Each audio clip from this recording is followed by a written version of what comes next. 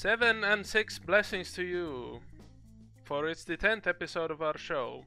Welcome to Five of the Week once again.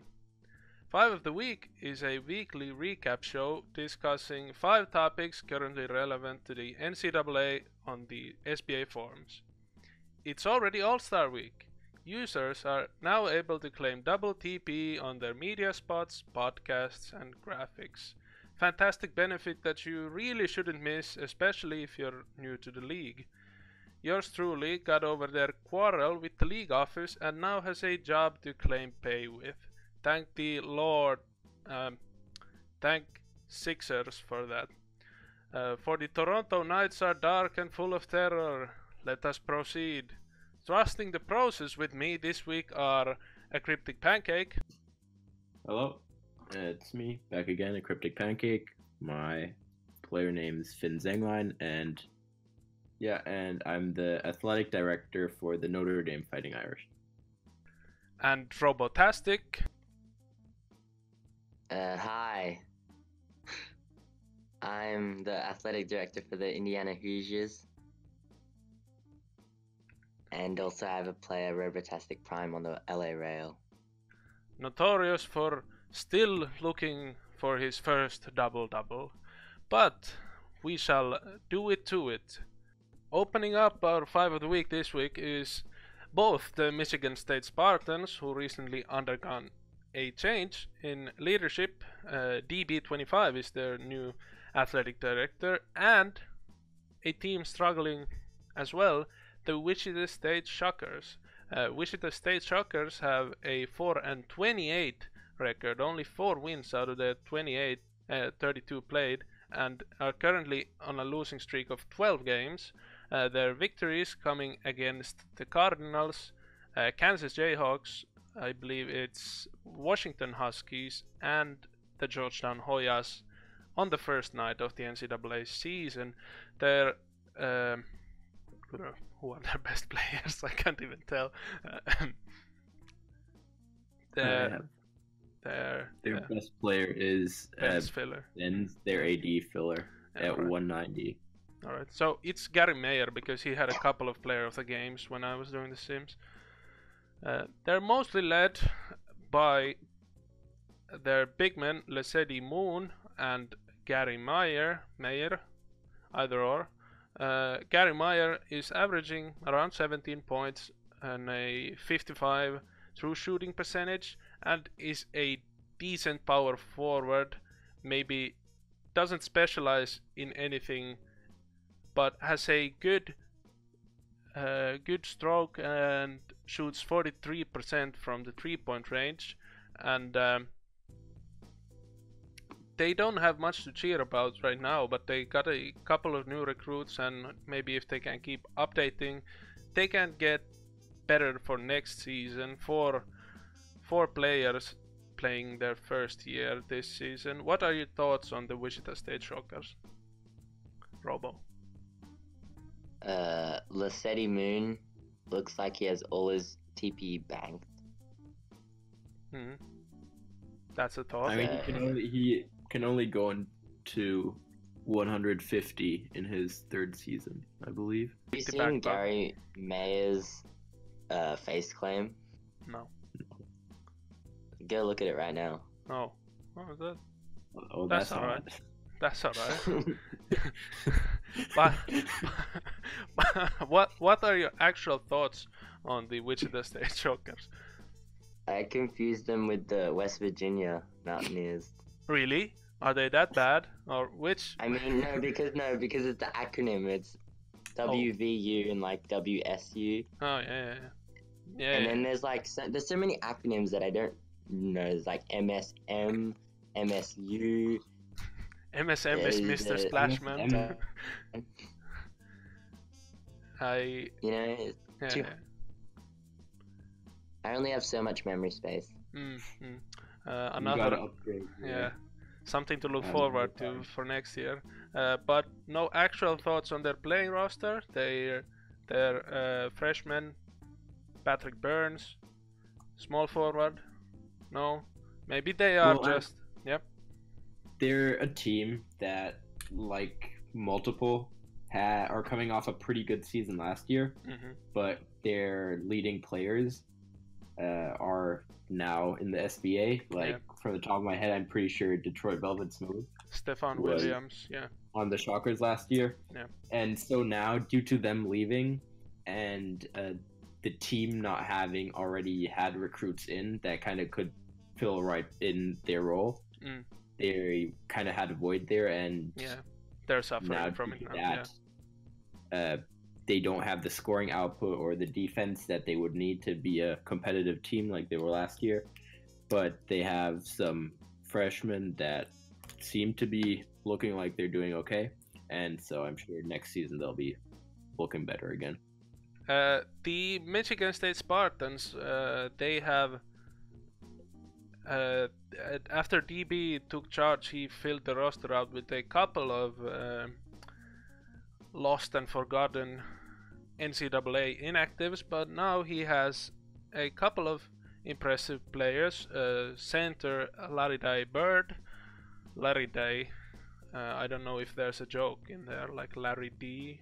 I can't remember what Larry Bird's middle name was, and a the guard Slade McPeak, who actually had a player of the game, I think, in the week one of the weekend sims. So encouraging signs for them.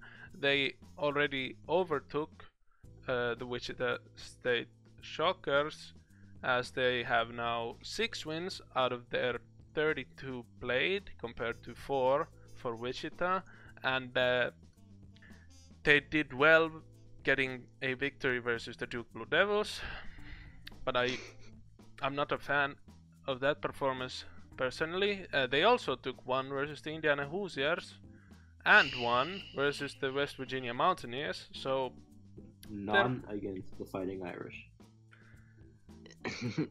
well He's done sir yeah Squad three times. Yeah. Uh, 140 win, a 40 point loss to the Fighting Irish. A couple of more tightly contested games, uh, improving to 60 points deficit in their second meeting, and only a 3 point loss in their latest meeting last week. And they, their new freshman talent, if they can keep keep the ball rolling and get more and more time with the ball, they might be looking mediocre by the end of the season, in my opinion. Uh, I'm always been a overestimating. Uh, I've always been overestimating the Michigan State Spartans, but um, now there's nothing much else to do than to, uh, well, promote their possible mediocrity. Pretty quiet for pretty quiet for those two squads, but a lot to expect from them going through the season. Now we're already at All Star Week, as I said, and they only have room to grow from now on. But we'll move on to our second topic, which is a player who's flown under the radar a bit. It's um, Tega Enaibe from the Villanova Wildcats. I'm really sorry if I butchered butchered the pronunciation of your name, but uh, Tega Tega is a small forward slash power forward, I believe, six foot eight. Uh, played for Villanova University the past two years as well, so he's a junior. Uh, now he's over the cap, averaging 27 and a half points with um, 6.8 five, uh, uh, six rebounds to add to his name. Also shooting above 40% from three-point range with nearly seven attempts per game. He's been leading the charge for the Villanova Wildcats, who are currently 21 wins out of 35 games. Um, recently beating the Gonzaga Bulldogs, uh, taking back a victory they conceded earlier. That's him, uh, and they're trailing the Syracuse Orange by four and a half games in the Big East Division. It's like he's like a harder to pronounce Raphael Nazarians. yep. My deep insight. He has very good inside. Yeah, I'm not. I mean, he's an all-around scorer. Really, he also has 83 point Yeah, So he's no I slouch. don't know how he got that much either. TP so quickly. Jeez. Yeah, he's at 300 now. Not bad. Mm, I guess maybe it's just very defense, specific allocation of his TP. Yeah, so you can definitely see he went all out attack with the only attributes he really invested in being offensive ones with inside I jump, respect that. three point jumping, and quickness, which are all stats that will help you score. I And respect that. definitely been scoring. I mean, almost 28 points per game. Very nice number to have, and yeah, Uh, they're looking pretty good as a whole. big big volume of 30% uh, big volume of 30 point games for Enaibe as well. Uh, he scored 40 I think four times this season already. Once in a losing losing effort versus Syracuse. Uh, actually two times in a, in both losing efforts versus Syracuse. And then uh, once in addition he had 45 versus the Cincinnati Bearcats this time in a victory he has some struggles shooting free throws. In that 45 point performance, he was only 4 out of 16 from the line. Uh, maybe could have easily broke the 50 burger if he had a little bit more composure from the line. But all in all, as Pancake said, a great scorer with great potential to light it up and send Villanova deeper into the March tournament this year. Alright, Tegai Nebe joins them. That's the third pronunciation now, and I've already only mentioned his name R.I.P.. four times, I think. So pick your poison, Mister at singing Hades. That's rough. Uh, so pick your poison, singing Hades. Uh, we'll be moving on to our third topic of the week, which is the Maryland Terrapins finally solidifying their position a bit. Uh, they are now an actual contender in the Big Ten division. Uh, preseason, the expectations would have been split possibly between the Kansas Jayhawks and the Indiana Hoosiers, but the recruitment of Othello Hawkins to play the starting center position, a magnificent coup by 11. Uh, Othello is averaging 15 points and 7 uh, 15 points and 5.6 rebounds, but their leading force is the pairing of Isaac Allen Richmond and Alonso Brixton on the wings. Uh, Isaac Allen Richmond is averaging 22 points with 5.6 assists, and Alonso Brixton is also averaging a nice number of 17 points per game. They both also are competitive on the defensive end, uh, have a solid number of steals 1.6 per game for Isaac Allen Richmond and 1.4 for Alonso Brixton. What are your thoughts on the Big Ten division competition and the Maryland Terrapins maybe taking charge of it? Mm, So Is 1.5 games ahead taking charge of the division now? Uh, taking po- Okay. taking ch- possibly taking charge of it, you know. Oh, yeah, yeah. Don't So get the too Big personal. Ten, it's kind of a weird division. It's kind of top heavy because it has three good teams with like basically three teams around the 20 win mark right now. However, then they also have the two worst teams in the league right now. So uh, you kind of have to take that in account. But overall, it's still a pretty good division. I'd say right now, this year, the Big Ten's probably the. Uh, it sounds bad to say easiest division, but if you look at all of them, uh, it is the division with the quote unquote closest, or I don't know, probably worst total if you combine them all together and average them out. So I don't know. Take that for what it is. So, what you're trying to say got is back-to-back wins last sim. So what you're trying to say is that it's probably w- really easy to get to March tournament from the Big Ten division, but it's still really competitive between the three top teams. Yeah, exactly. Yeah. But it, in general, it's every division really has at least three or four teams that are all competing for the top spot and are all, I mean, except for the Pac Six, where Arizona has just absolutely been blowing everyone else out, and the Orange also have a bit of a lead. But everyone else, it's super competitive, and there's only one or two wins separating the top team from the second best team.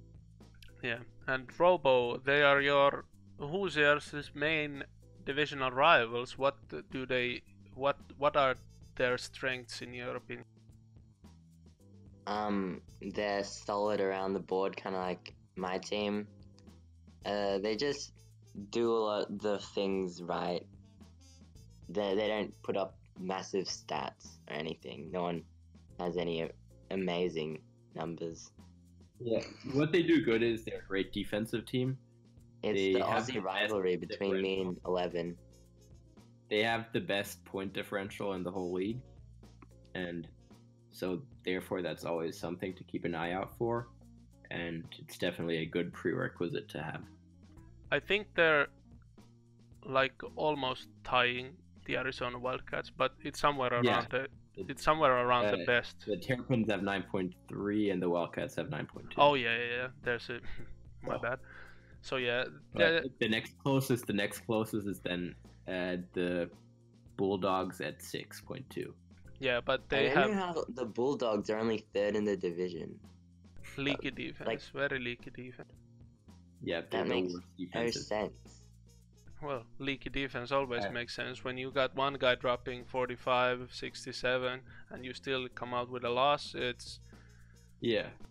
I mean, the Well, I mean, average it's basically the the, same like- team that was last year, but better. well, they averaged 92 points against them. So, I mean, you'll have to score a lot then in order to overcome that.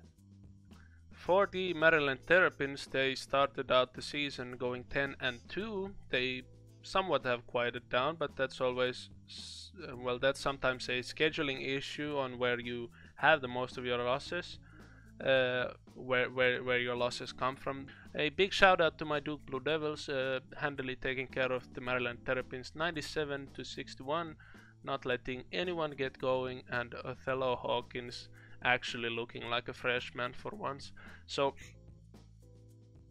the Maryland Terrapins, like we somewhat concluded, they are really good at a lot of things.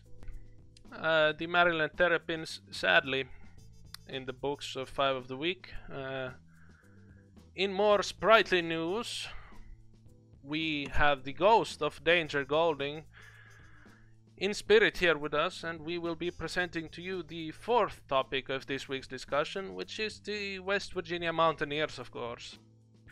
The past couple of sims have been very, very encouraging for them. They had a 8 to 2 record during those two, I believe. Uh, they beat out the Arizona Wildcats, the Fighting Irish, the reigning champions, Oregon Ducks. Also, came out of Gonzaga University with a 8 point victory and um, well lost to the Michigan State Spartans as mentioned earlier. They are flying high currently and uh, they're yeah just recently versus uh, the divisional rivals Virginia Cavaliers their guard Amari Creed had a astonishing triple double for NCAA standards 15 points on 15 field goal attempts 11 rebounds, but 17 assists. Recently, uh, Creed has been on a tear throughout the NCAA. Uh, he has double digit assists in all of his six last games and nine in his seventh to last game. So, the Mountaineers are improving, obviously. Uh, wish we could hear Danger Golding's thoughts on them. I believe we will, anyway. But first, we'll get to your thoughts on them. What do you think about the Mountaineers, Robo? Um, I was honestly at the start of the season, we were all kind of surprised at how bad the Mountaineers were doing. Just because going into the season, we all thought that they'd be a at least a March team, that would make the playoffs and probably make it at least to the second round. Yeah. But then they kind of had a really slow start. But now they seem to be turning everything around. Their guards seem to have found a balance and everything is kind of going into place. I mean, they have two uncapped players, two players at 199, and then afterwards they have a few players hovering hovering around the 100 to 150 mark. And so they're a pretty deep team, I guess. However, I think what they lack most is a true standout player. I mean, if you look at the, I don't know, league leaders in uh, in pa- uh, not passing in scoring, uh, there's not a single Mountaineer in that list. So uh, while they have a pretty deep team and everyone kind of scores in double digits, they don't really have anyone that can pop off and really be a matchup nightmare for the other team on any given night. Yeah, I agree, and uh, it's eerily similar. Might be eerily similar to the last season's Duke Blue Devils. Uh, obviously, Amari Creed, not yet the player Miles Lefebvre was last season, but he is, like I said, on a tier, on a tear, more like. Um, so the Mountaineers are currently 17 and 18. They are third in the Atlantic Coast Division, which I think is was predictable for the start of the year. So mm. they they were supposed to be around that margin, maybe not below 500, but that could I think by the end of the year they'll be above 500. yeah, that could just be some scheduling once again, where they have to meet the University of Kentucky or the Washington Huskies and might or the Michigan State Spartans, where they might struggle. But they are now well on their way to a March position, and if they can keep this uh, win streak or recent record somewhat comparable to that for the rest of the year, they'll be just a alright. So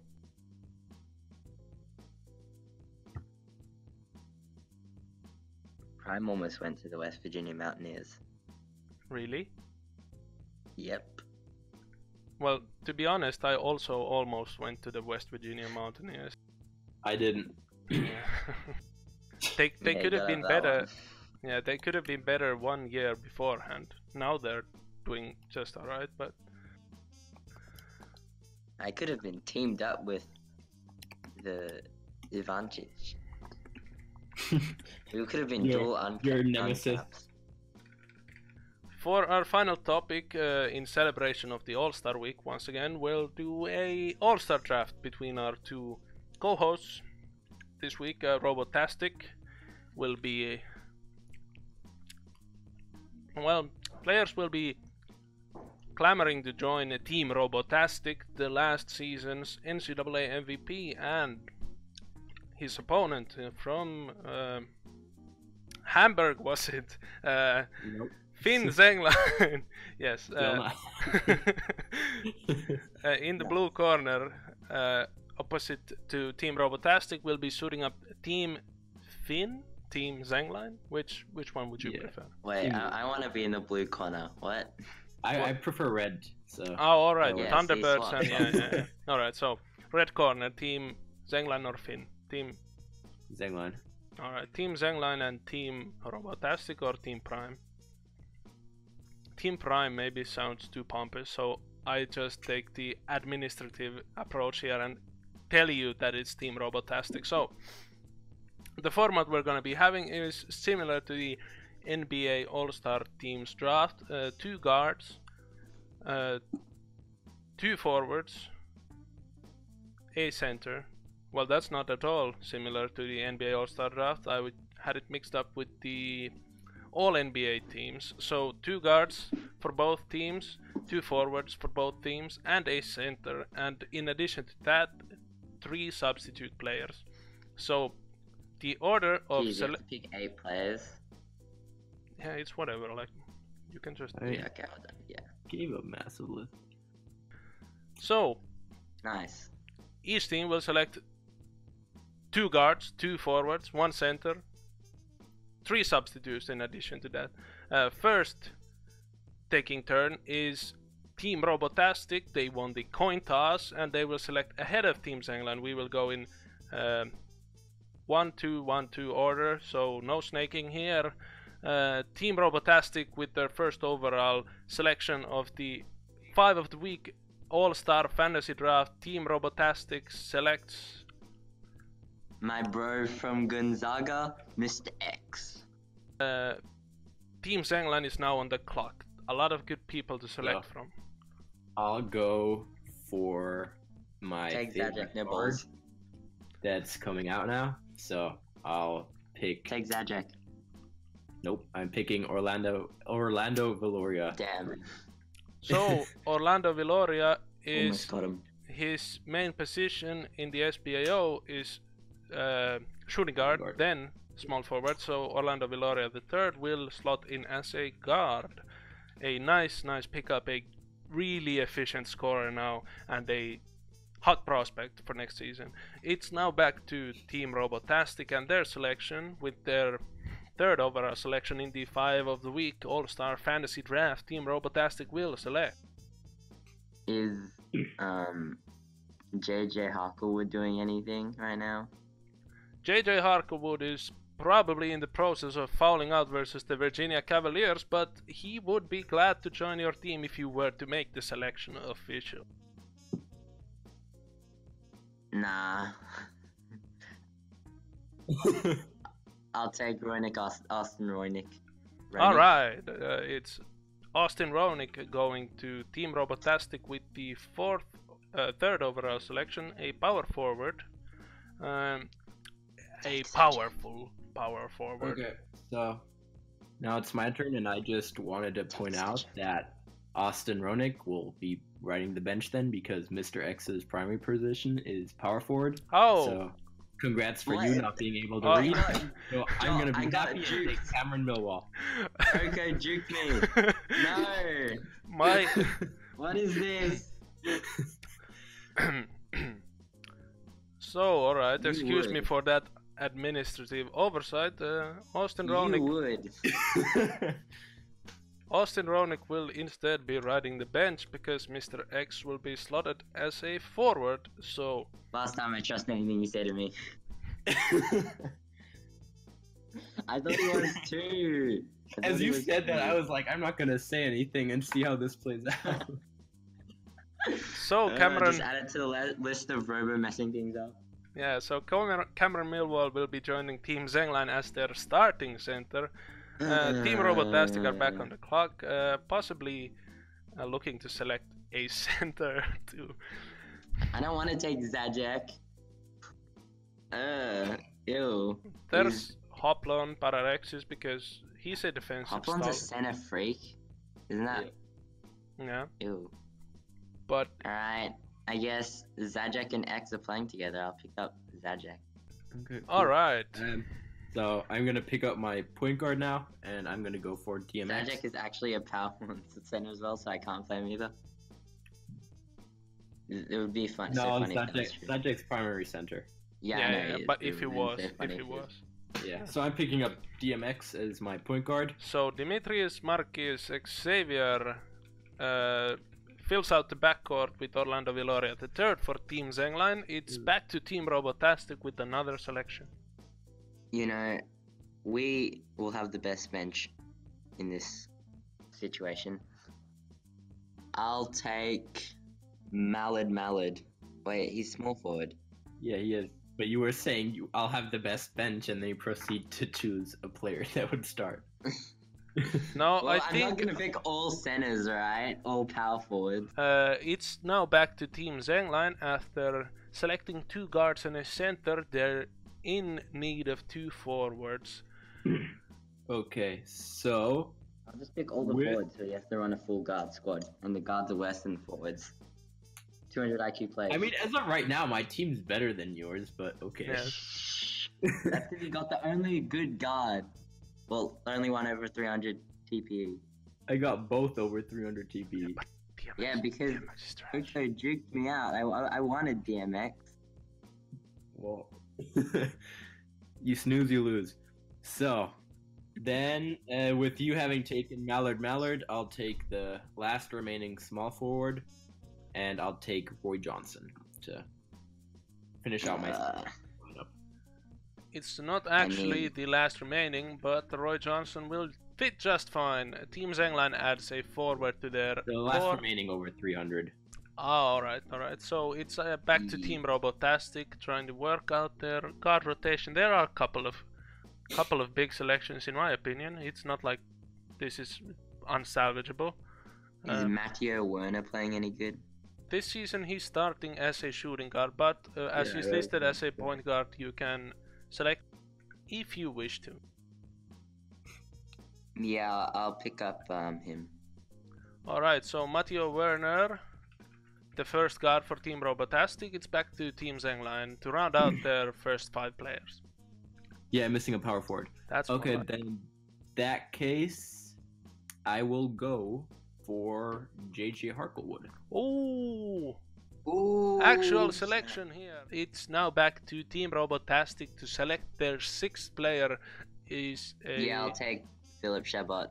Alright, So so I can roll with my boys. Philip Chabot for Team Robotastic. It's then back to Team Zenglein to select their first player from the bench for their My bench. first bench player will be Hoplon Parahexis, just because he's a really good defensive build and you need some defense off the bench sometimes. Alright, so Hoplon Pararexis uh, joins the fold for Team Zenglein. His brother still on the board, actually. So uh, this is not to influence Robotastic in his selection. He's supposed to make his selection right now. Um, I'll take. Oh no, wait. Has Innate Tega been taken? I mean, do I do I need another forward? I feel like I gotta go. God. Yeah, I guess I'll take Tega.